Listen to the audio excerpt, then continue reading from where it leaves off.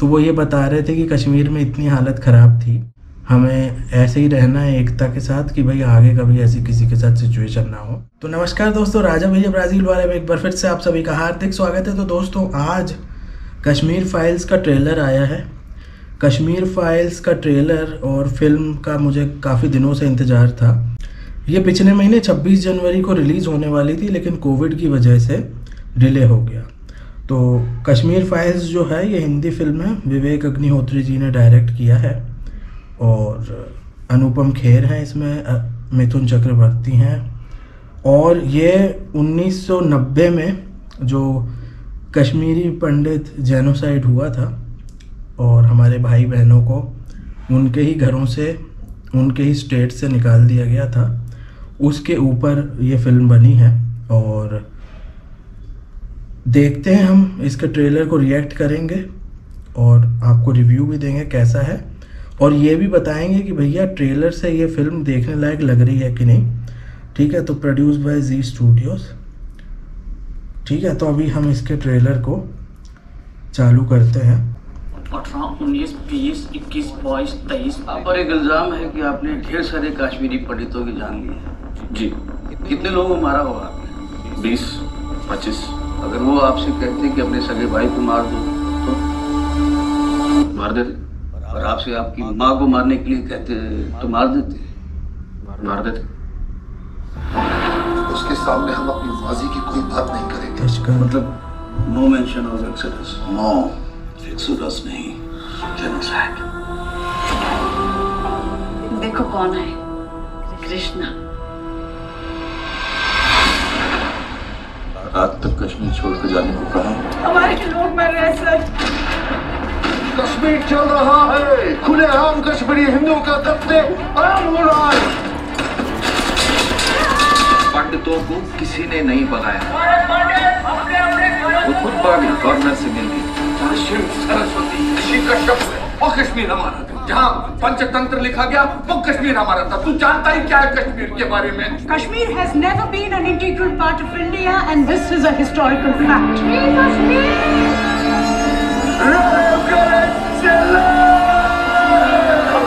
मतलब भागो क्या मर जाओ। कश्मीर के मसले का एक ही हल।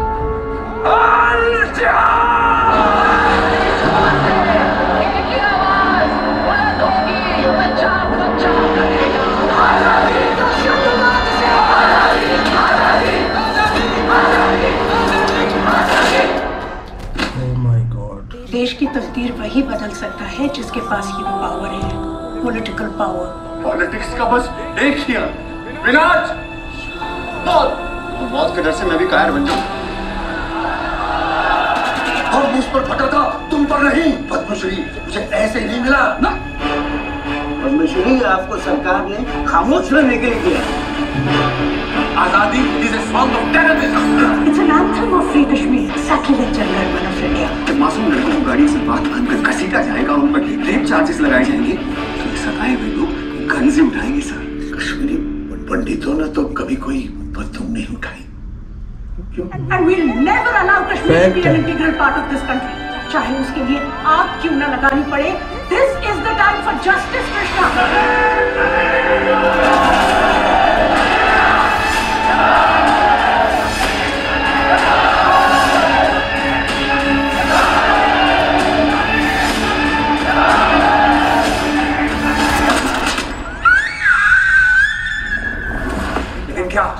पंडितों को वापस अपने घर कश्मीर जाने का मौका मिलेगा। इससे जस्टिस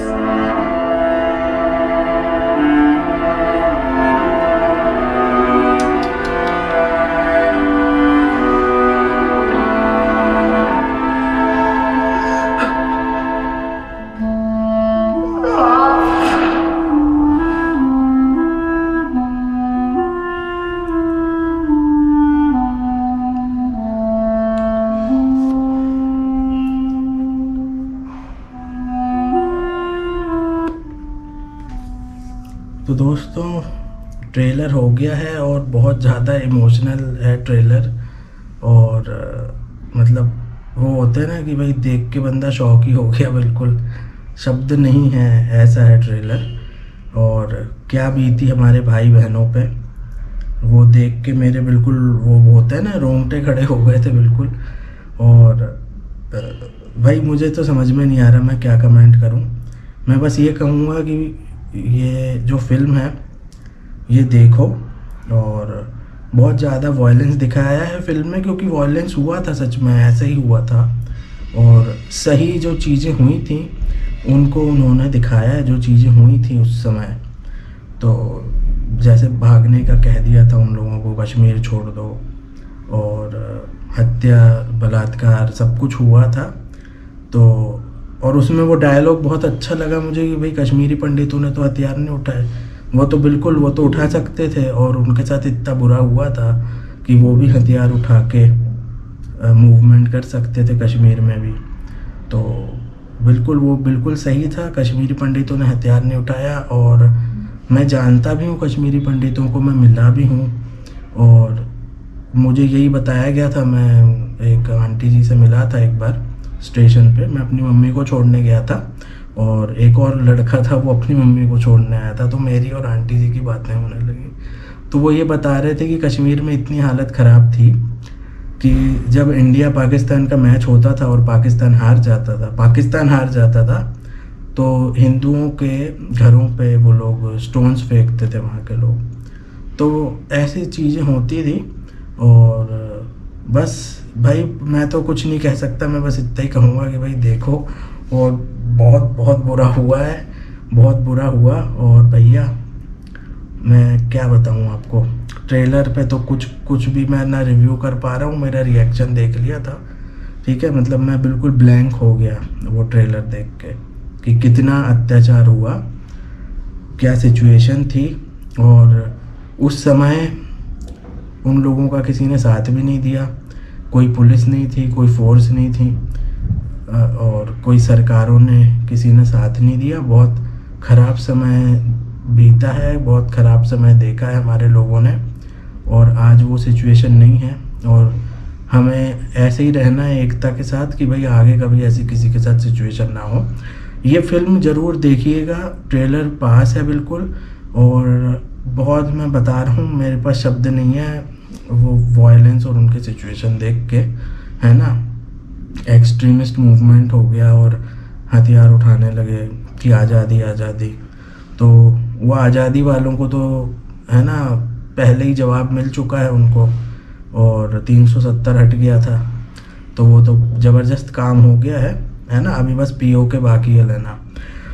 तो दोस्तों कमेंट करके बताइए मेरा रिएक्शन कैसा लगा? रिएक्शन तो भाई मैं तो मैं बता रहा हूँ, आपको मैं देख रहा था तो मैं पूरा मतलब वो होता है, एकदम शौक हो गया बंदा। फ्रीज हो गया बिल्कुल कि क्या हो रहा है ये। यही था मेरा, अभी भी वैसे ही हूँ मैं। ये फ़िल्म ज़रूर देखिएगा। मैं फ़िल्म भी देखूँगा और मैं पूरा ट्राई करूँगा कि फ़िल्म का भी रिव्यू लेके आऊँ। वीडियो देखने के लिए बहुत बहुत धन्यवाद। कमेंट करके बताइए वीडियो कैसा लगा रिएक्शन कैसा लगा? इस ट्रेलर को देख के आपको कैसा लगा और आप फ़िल्म देखने वाले हैं क्या? जय हिंद, भारत माता की जय, वंदे मातरम।